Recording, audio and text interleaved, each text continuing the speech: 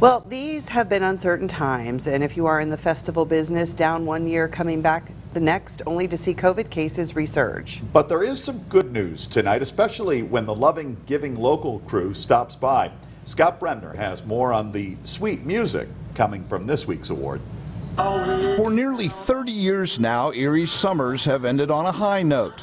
A lot of them, in fact, with the Erie Blues and Jazz Festival, featuring some of the best blues and jazz acts around. It's a time to just relax and enjoy the music.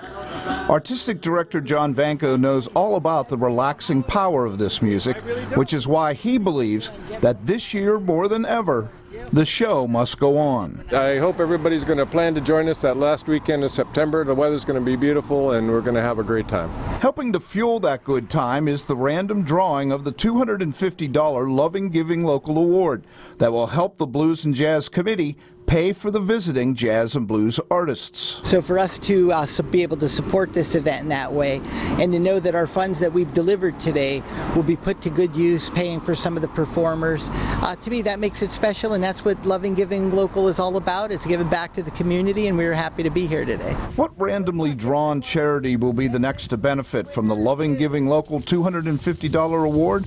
Tune in Wednesday morning to find out. Scott Bremner, Jet 24, Action News.